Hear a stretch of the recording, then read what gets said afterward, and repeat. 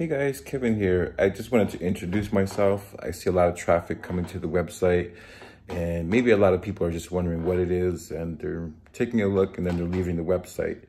I want you to know that I can see the traffic. I, I see what pages people are going to and what cities they're looking from. Um, I wish I could engage with you and get your feedback on the site.